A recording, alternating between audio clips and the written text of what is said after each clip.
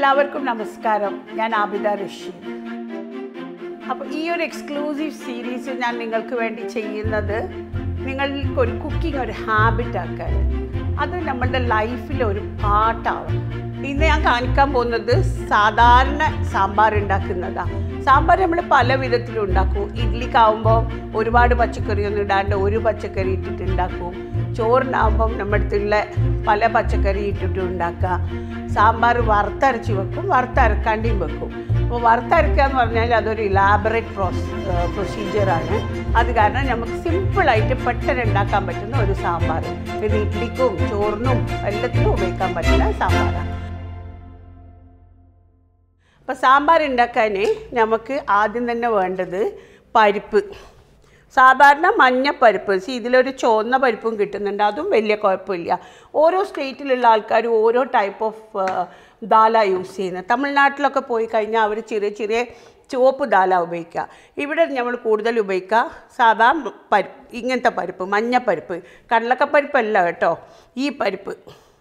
അപ്പോൾ കടലക്കപ്പരിപ്പാകുമ്പോൾ അതിന്റെ ഫ്ലേവർ വ്യത്യാസമാണ് പരിപ്പായാൽ പോരേന്നല്ല ഓരോ പരിപ്പിനും അതിന്റേതായ ഫ്ലേവേഴ്സ് ഡിഫറെന്റാണ് ഇപ്പം ഉയിന്നോണ്ട് ഞങ്ങൾ കറി ഉണ്ടാക്കി കഴിഞ്ഞാൽ അതെല്ലാം കുഴകുഴാൻ നിൽക്കും ചെറുപയറുകൊണ്ട് ഉണ്ടാക്കുമ്പോൾ അത് വേറെ തന്നെ ഫ്ലേവറാണ്.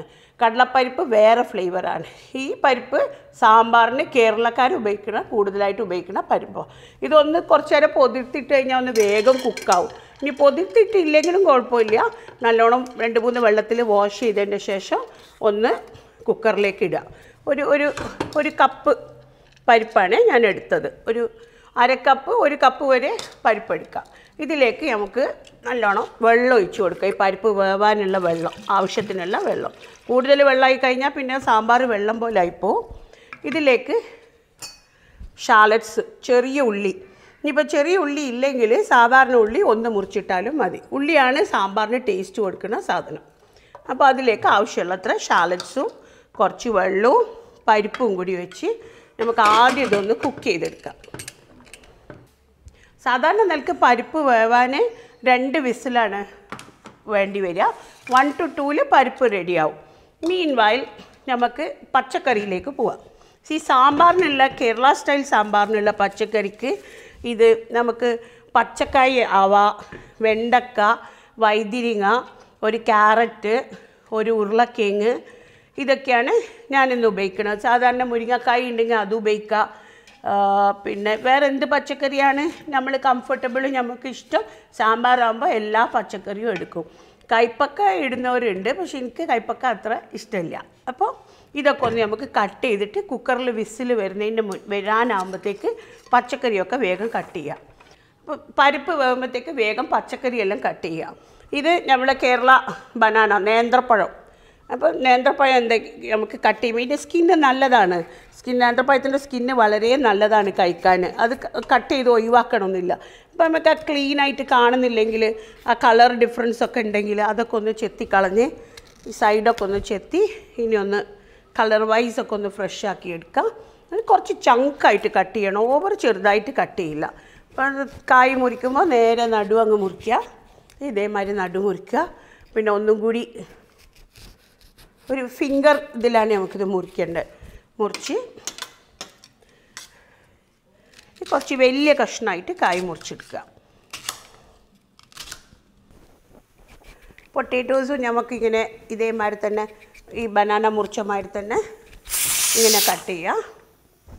പിന്നെ ആദ്യാദ്യം ഇടേണ്ട പച്ചക്കറി ആദ്യാദ്യം കട്ട് ചെയ്യുക. ഓരോ പച്ചക്കറിക്കും ഓരോ വേവല്ലേ? അപ്പോൾ കുറച്ച് വെണ്ടക്ക ഒഴിച്ചിട്ടുള്ള എല്ലാ പച്ചക്കറിയും നമുക്ക് ഉപയോഗിക്കാം. ക്യാരറ്റ് ഒന്ന് വെറുതെ ഒന്ന് സ്ക്രീപ്പ് ചെയ്താൽ മതി. ആ ഒരു കളർ ഡിഫറൻസ് ഒക്കെ ഒന്ന് പോവാൻ മാത്രം. അതിലുള്ള ആ മണ്ണും ഇതൊക്കെ അപ്പോൾ പരിപ്പ് ഒരു വിസിൽ വന്ന് ഒന്ന് സ്ലോ ഡൗൺ ചെയ്ത് കൊടുക്കുക ക്യാരറ്റ്സും ഇതേമാതിരി തന്നെ ഈ ഫിംഗർ സൈസിൽ കട്ട് ചെയ്യാം.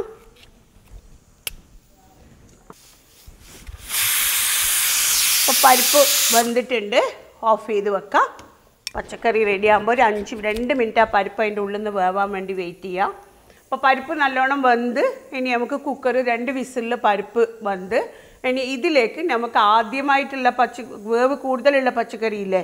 ക്യാരറ്റ് അല്ലെങ്കിൽ ചേന ഇങ്ങനത്തെ നേന്ത്രപ്പഴം പൊട്ടേറ്റോ ഇതിനൊക്കെ കുറച്ച് വേവ് കൂടുതൽ അപ്പോൾ അതിനും കൂടി ഒരു വിസിലും കൂടി നമുക്ക് വേണം. അപ്പോൾ ഈ പ്രഷർ കുക്കർ ഒന്ന് തണുത്തതിന്റെ ശേഷം അതിലേക്ക് പച്ചക്കറി ഇടാം. ഇപ്പോൾ പ്രഷർ കുക്കർ നല്ല ചൂടുണ്ടെങ്കിൽ പെട്ടെന്ന് ആട്ടണമെങ്കിൽ ഒന്ന് കൂളാക്കണമെങ്കിൽ നമുക്കിത് പൈപ്പിന്റെ അടിയിൽ വെച്ചിട്ട് തുറക്കാണ്ട് വെള്ളം ഒഴിച്ചു കൊടുക്കുക. അപ്പം പെട്ടെന്ന് ഇതിന്റെ ആവി ഇതായി നമുക്ക് ഈസി ആയിട്ട് തുറക്കാൻ പറ്റും. അപ്പം ഞാൻ ഈ പ്രഷർ കുക്കർ ഒന്ന് പൈപ്പിന്റെ അടിയിൽ വെള്ളം കാണിച്ച് ഒന്ന് കൂൾ ചെയ്തതിന് ശേഷം നമുക്ക് ഈ പച്ചക്കറി അതിലേക്ക് ഇടാം. ഇനി നമുക്കതൊന്ന് തുറന്ന് നോക്കാം. ഇപ്പോൾ ഇതിൽ നമ്മളെ പരിപ്പ് വന്നിട്ടുണ്ട്. ഈ പരിപ്പ് ഉള്ളിയും വന്നിട്ടുണ്ട്. ഇതിലേക്ക് നമുക്ക് ഈ പച്ചക്കറികൾ ആദ്യം വേവ് കൂടുതലുള്ള പച്ചക്കറികൾ ഒന്ന് ഇട്ടിട്ട് ഒരു പ്രാവശ്യം കൂടി ഒന്ന് കുക്ക് ചെയ്യണം. ഇതിൽ ഇതിൽ ഞങ്ങൾ പൊ ഉരുളക്കിഴങ്ങ് ക്യാരറ്റ് വൈതിരിങ്ങ പച്ചക്കായി. നിങ്ങൾ ചേനയൊക്കെ ഇടുന്നുണ്ടെങ്കിൽ എന്താ ഓരോ വെജിറ്റബിളിന്റെ ഇതനുസരിച്ചിട്ട് കുക്കിംഗ് ടൈം അനുസരിച്ചിട്ട് ആദ്യാദ്യം ആദ്യം കുക്ക് ചെയ്യേണ്ടത് ഇതിലേക്ക് ഇട്ട് കൊടുക്കുക. ഇപ്പോൾ തക്കാളിക്കും ഭയങ്കര വേവാണ്. അത് കാരണം നമുക്ക് തക്കാളിയും ഇതിലേക്ക് തന്നെ ഇട്ടിട്ട് ഒന്ന് പ്രഷർ കുക്ക് ചെയ്യാം. അതിലേക്ക് ഒരു രണ്ട് മൂന്ന് പച്ചമുളകും ഒന്ന് സ്ലിറ്റ് ചെയ്തിട്ട് ഇട്ട് കൊടുക്കുക. മീൻവൈൽ വേഗം ചൂടായിക്കോട്ടെ ടൈം വേസ്റ്റ് ചെയ്യേണ്ട. കുക്കർ ചൂടാവുന്ന സമയം കൊണ്ട് ഇത് ഇട്ട് കൊടുത്താൽ മതി. ഓക്കെ ഗ്രീൻ ചില്ലി ഇപ്പോൾ ഇതിലേക്ക് ആവശ്യമുള്ള പരിപ്പും ഉള്ളിയിട്ട് വേവിച്ചത് അതിലേക്ക് ആവശ്യമുള്ള വെജിറ്റബിൾസ് ലൈക്ക് ക്യാരറ്റ് പച്ചക്കായി പിന്നെ വൈതനിങ്ങ ഇതെല്ലാം കൂടി ഇട്ടിട്ട് ഒന്ന് നമുക്ക് അതിൽ തക്കാളി ഇട്ട് പച്ചമുളക് ഇട്ട് ഇതെല്ലാം കൂടി ഇട്ടിട്ട് ഒരു ഇത്. ഞാൻ ഇതുവരെ ഉപ്പിട്ടിട്ടില്ല കേട്ടോ. ഉപ്പിട്ട് കഴിഞ്ഞാൽ പരിപ്പ് നല്ലോണം വേവില്ല എന്നാണ് പറയുക പരിപ്പ് നല്ലോണം വെന്ത് പേസ്റ്റ് ആവണം ഞങ്ങൾക്ക് പരിപ്പ് ഇങ്ങനെ കടിക്കുന്ന സുഖം ഉണ്ടാവില്ല സാമ്പാറിൽ പരിപ്പ് എപ്പോഴും അത് ഡൈല്യൂട്ട് ആവാണ് ലൈക്ക് സാമ്പാറിന്റെ ആ കറിയുടെ തിക്നെസ് ഫോം ചെയ്യുന്ന എവിടുന്നാണെന്നറിയോ ആ പരിപ്പ് നിന്നാ പരിപ്പ് എത്ര നല്ലോണം വേവുന്ന അത്രയും സോസി ആയിട്ട് കിട്ടും നമ്മളെ സാമ്പാർ. പരിപ്പ് ഇങ്ങനെ വേറെ നിൽക്കുമ്പോൾ വെള്ളം വേറെ ഉണ്ടാവും പച്ചക്കറി വേറെ ഉണ്ടാവും. ആ ഒരു ബൈൻഡിങ് കിട്ടൂല. അപ്പോൾ പരിപ്പ് കുക്കിംഗ് ഇസ് വെരി ഇമ്പോർട്ടന്റ് അതുകൊണ്ടാണ് ഞാൻ പറഞ്ഞത് രണ്ട് വിസിലോ മൂന്ന് വിസിലായാലും കുഴപ്പമില്ല. പരിപ്പ് നല്ലോണം വെന്ത് അടിയണം. അതിന്റെ ശേഷം വേവ് കൂടുതലുള്ള പച്ചക്കറികൾ ഇട്ട് പിന്നെ ഒരു വിസിലെടുക്കുക ബാക്കിയുള്ള പച്ചക്കറികൾ നമുക്ക് കുക്കറിന്റെ ആവശ്യമില്ല. ആ സമയത്ത് കട്ട് ചെയ്തിട്ടിട്ട് ഒന്ന് കുക്ക് ചെയ്തെടുക്കുക. പച്ചക്കറി കുക്കറിന് ഒന്ന് വേകുമ്പോഴത്തേക്ക് നമുക്ക് സാമ്പാറിന്റെ ബാക്കിയുള്ള കാര്യങ്ങളൊക്കെ സെറ്റ് ചെയ്യാം. അതിലേക്ക് ചട്ടി നല്ലോണം ചൂടാക്കിയതിന്റെ ശേഷം ഒരു വൺ ടേബിൾ സ്പൂൺ അല്ലെങ്കിൽ one one and half teaspoon spoon coconut oil ഒഴിക്കുക. എണ്ണ നല്ലോണം ചൂടാകുമ്പോഴേ കടുക് ഇടാൻ പാടുള്ളൂ. കടുക് നേരത്തെ ഇടരുത്.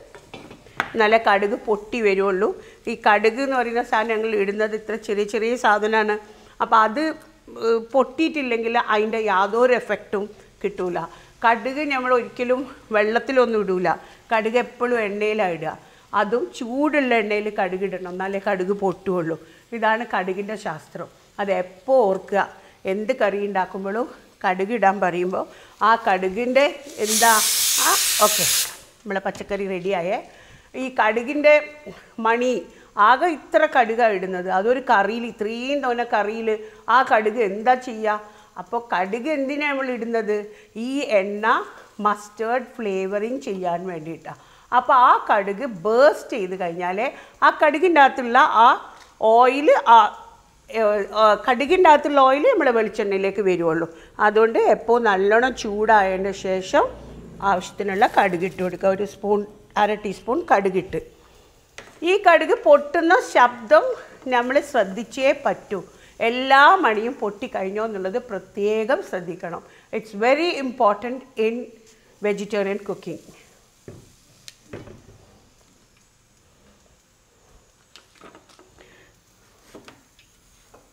ആ കടുക് പൊട്ടുമ്പോഴത്തേക്ക് നമുക്ക് കുറച്ച് വെളുത്തുള്ളി നല്ല ഫ്രഷായിട്ട് കുറച്ച് പത്ത് പന്ത്രണ്ട് പോഡ്സ് ഓഫ് വെളുത്തുള്ളി എടുക്കുക.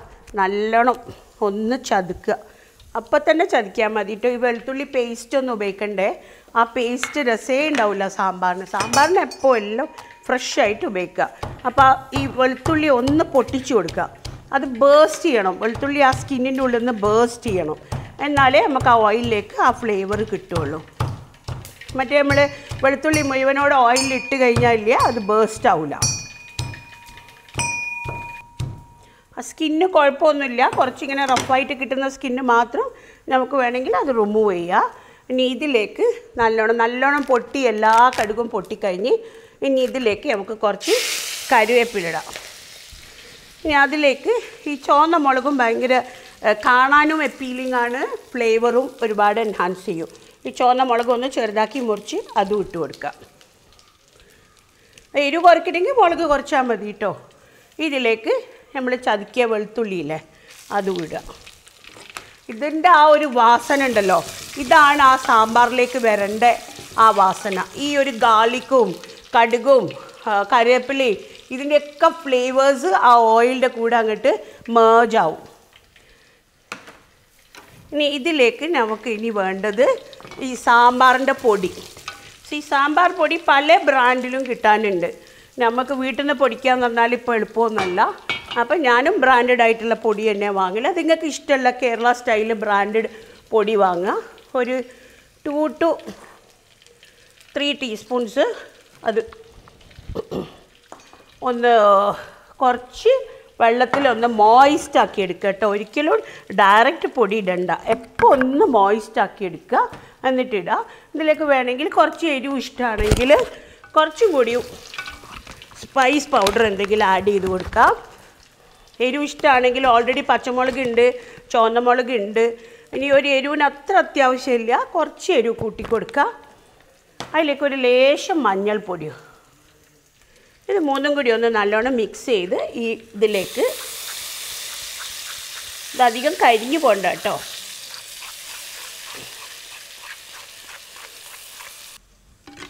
ഈ മസാല ഈ ഓയിലൊന്ന് ഗുണമാവണം. ആ സമയത്ത് നമുക്ക് കുറച്ച് കായം കായത്തിന്റെ ഇത്തിരി പൊടി ഓൾറെഡി ഈ സാമ്പാർ പൊടിയിൽ ഉണ്ടാവും കേട്ടോ ചില ബ്രാൻഡിൽ ഇത് ഉണ്ടാവും. നമ്മളിവിടെ എല്ലാത്തിനും വാളൻ പുളിയാണ് ഉപയോഗിക്കുക അല്ലേ? ടാമറിന്റ് എന്ന് പറയുന്ന പുളി. അതൊന്ന് പിഴിഞ്ഞ് ഇതിലേക്ക് ആ പുളിയുടെ വെള്ളം കുറച്ച് കുറച്ചായിട്ട് ഒഴിച്ചാൽ മതി. എല്ലാം കൂടി ഒന്നിച്ച് ഒഴിക്കണ്ട. ചില പുളിക്ക് നല്ല നല്ല പുളി ഉണ്ടാവും.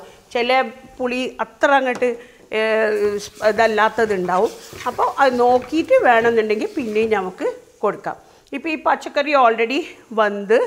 ഇനി ഇതേമാതിരി തന്നെ ഇതിന്റെ ആ പ്രഷർ ഒന്ന് ഞാൻ പൈപ്പിൽ വെള്ളം ഒഴിച്ചിട്ട് ഒന്ന് എടുത്തു കളയാം. സി നമുക്കിതെല്ലാം പെട്ടെന്ന് വേണ്ടിയിട്ടാണ്. പ്രഷർ കുക്കർ കൂളായിട്ട് മാത്രമേ തുറക്കാൻ പാടുള്ളൂ. ഇപ്പം നമ്മൾ ടൈം അഡ്ജസ്റ്റ്മെന്റ് ആണ്. അപ്പോൾ പെട്ടെന്ന് ഞങ്ങൾക്കിത് കൂളാവണം എന്നുണ്ടെങ്കിൽ നമുക്ക് എന്ത് ചെയ്യാം? പൈപ്പിന്റെ പോയിട്ട് പൈപ്പ് നല്ലോണം റണ്ണിങ് വാട്ടറിന്റെ മുകളിലാക്കി കഴിഞ്ഞാൽ പ്രഷർ അങ്ങോട്ട് ഒന്ന് ചെറിയൊരു ബേസ്റ്റിലുള്ള പ്രഷർ അങ്ങോട്ട് പോവും. അപ്പോൾ പെട്ടെന്ന് തുറക്കാൻ പറ്റും. മറ്റേ നമ്മൾ വല്ല കത്തിയോ സ്പൂണോ എല്ലാം വെച്ചിട്ട് ഇങ്ങനെ പൊന്തിച്ച് അപ്പോൾ അത് എന്താവും? ആ പൊന്തുമ്പോൾ അതിന്റെ ആ ഗ്രേവിയൊക്കെ പുറത്തേക്ക് വരും കുക്കർ വൃത്തികേടാവും. പിന്നെ അതിന്റെ ആ മണവും കാര്യങ്ങളൊക്കെ പോയി പോവും. പുറത്തേക്ക് ആ വെജിറ്റബിളിന്റെ നല്ല സ്മെല്ലും അതിന്റെ ഫ്ലേവേഴ്സും ഒക്കെ പോയി പോകും rather it is better pressure cooker പൈപ്പിന്റെ അടിയിൽ നിന്ന് കൂൾ ഡൗൺ ചെയ്യുന്നതാണ് അപ്പോൾ കൂൾ ഡൗൺ ചെയ്തോ ഇല്ല എന്നുള്ളത് അറിയണമെങ്കിൽ ഇതൊന്ന് പൊതിച്ച് നോക്കിയാൽ മതി. ഇനി അത് ഒന്ന് തുറന്ന് അപ്പോൾ ആ പച്ചക്കറിയും ആ തക്കാളിയും ഒക്കെ റെഡി ആയിട്ടുണ്ട്. ഇനി നമ്മൾ ഈ ആക്കി വെച്ച ഈ മസാലയിലേക്ക് ഈ കംപ്ലീറ്റ് പച്ചക്കറികളും ട്രാൻസ്ഫർ ചെയ്യാം. ആ ദാലും പച്ചക്കറിയും ഒക്കെ. മിക്ക സമയവും ഇത് ഓവർ വെന്ത് പോലാണ് സാധാരണ ചാൻസസ് അപ്പം നിങ്ങൾക്ക് പരിപ്പ് മാത്രം പ്രഷർ കുക്കറിൽ ചെയ്തിട്ട് ബാക്കിയുള്ളത് ഓരോരോ വെജിറ്റബിൾ ആയിട്ട് ഇട്ട് കൊടുത്താൽ മതി. ഇപ്പം ഈ വെജിറ്റബിൾസ് ഒക്കെ ഓവർ കുക്ക്ഡ് ആവും. നമ്മൾ കുക്കർ ഉപയോഗിക്കുമ്പോൾ. പക്ഷേ ഇന്നത്തെ ഇതിൽ ക്വിക്ക് കുക്കിംഗ് കുക്കിംഗ് അല്ലേ ഞാൻ കാണിക്കേണ്ടത്. അപ്പോൾ അതിന് ഒരുപാട് സമയം വേസ്റ്റ് ആക്കാണ്ട് ചെയ്യണം. ഓക്കെ ഇപ്പോൾ സാമ്പാർ തൂമിച്ചായി. ഇനി ഇതിലേക്ക് നമുക്ക് കുറച്ചും കൂടിയും വെള്ളത്തിന് കുറച്ചൊരു കുറവുണ്ട്. അപ്പോൾ ആ ദാലൊക്കെ ഒന്ന് നമുക്ക് നല്ലോണം മിക്സ് ചെയ്ത്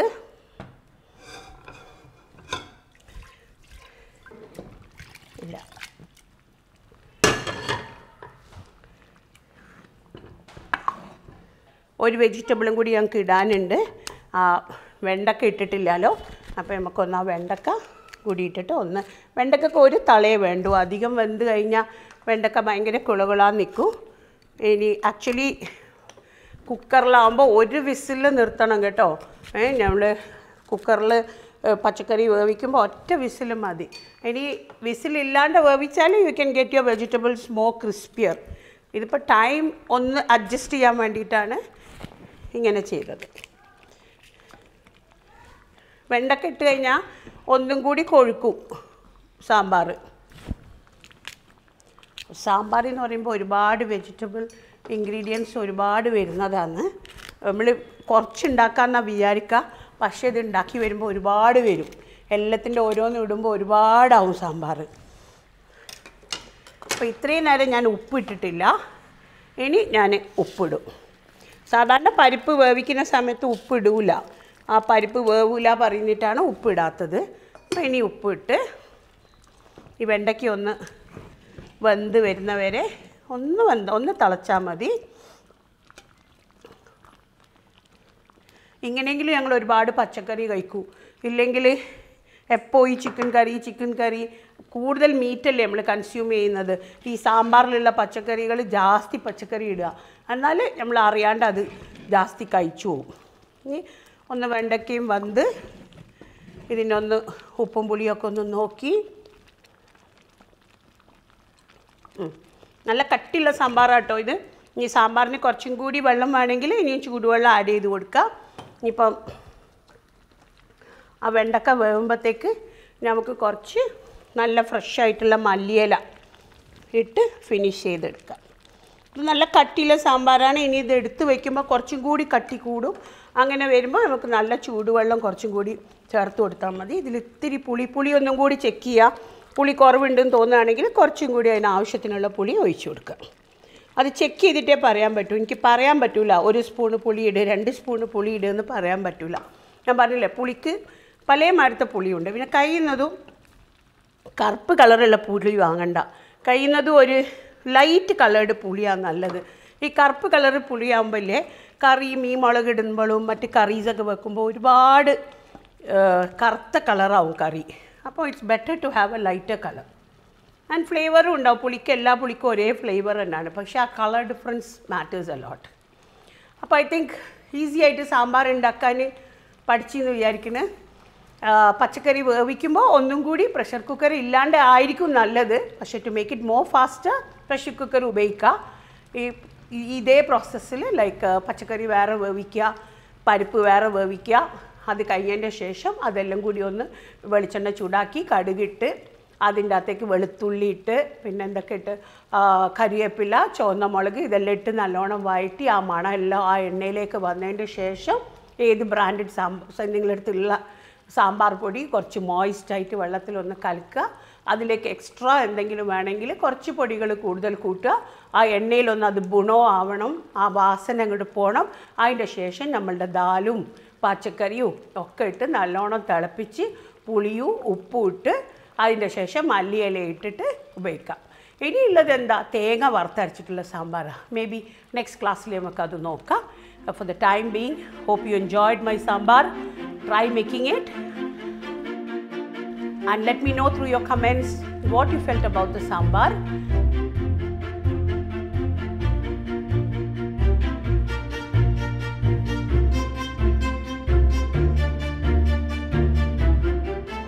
And I'll be coming back with more and more videos. Until then, goodbye from Abdash.